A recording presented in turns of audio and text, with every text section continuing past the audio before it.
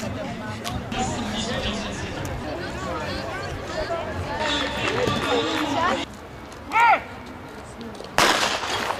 deuxième course de Justin, mesdames et messieurs, avec un excellent départ de Raphaël.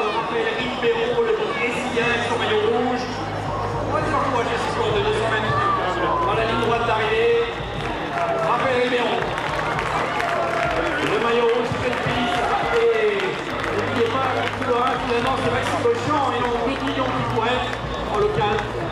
Et 21 secondes et 22 secondes pour le. Le Marocain et le Bénis 7.